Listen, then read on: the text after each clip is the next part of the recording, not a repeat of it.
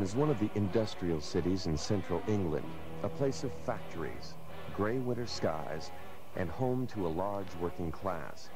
We all come from the same district, you know, we learned a long time ago when your back's at the wall, you just keep coming back and, and kick back, you know. Okay, Aston was uh, was bombed out during the war, okay, and it, like we grew up in a slum sort of area, you know, and like you, you get a street and you get a bunch of kids that all stay together and stuff, you know. With the ultra working class. You'd have never have thought this lineup would have got together if I didn't even know Geezer was a guitar player. He'd never played bass in his life.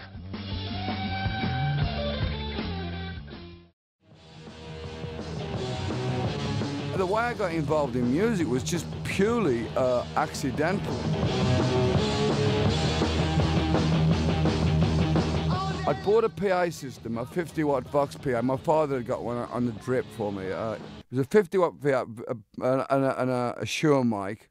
And I thought, well, I'll put an advert in the music shops, the instrument shops. And, and, and, and, uh, and Geezer came round to the house and he was in a band called The Rare Breed. What? You were playing rhythm guitar, Ozzy? Yeah, Ozzy and myself used to have a band, like, and we used to have this guitarist, drummer, and I, I used to play rhythm guitar, and Ozzy was on vocals. What was that band called? Rare Breed. Rare Breed? Yeah. Me and Ozzy left, and I just didn't. Rhythm guitars just sort of. Nobody wanted them anymore. Mhm. So I took, and I couldn't afford a bass at the time, so I took two strings off my guitar. And I used to play bass on me, uh, just this bloody little horrible electric guitar I had. In fact, that's when we got together as like the, the Sabbath lineup. I was still using my guitar strung down. But I didn't really like the guitar player. I thought he was an asshole, you know. So he wasn't really. I mean, in those days when you play blues, you you kind of like got to stand there like cool with with like dark sunshades on and be cool, you know. I would I would jump around and get people going, and the guitar player would say, "Hey man, you're in a blues band, man. You, you know, blues guy." I said, "Screw you," you know. So I said to Geezer one night, I said, "You know what, man?" I said, "If I if I go on the stage with that, that guy again, I'm going to smack him in the teeth. This guy's up, getting up my ass. I can't I can't sta take it."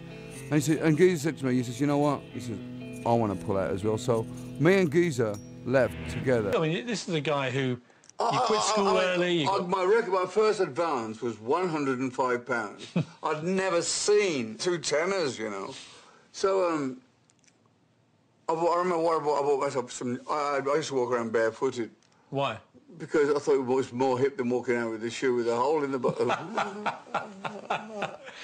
So were you able to buy some shoes after that? I, I bought some shoes. I bought some Brut cologne to make myself smell a little bit. posh. I went out and got pissed as a rat. Give the rest to my mum. And what did she say to you? Thanks. when I first got the album, mm. They'd expected to see "There's an old man by the sea," all these old pub swinging songs. So when I when I put the album on the radiogram, which that's that was the thing we mm. had, you lift the lid up and you. and the album cover's got this chick in black robes and it's like this weird.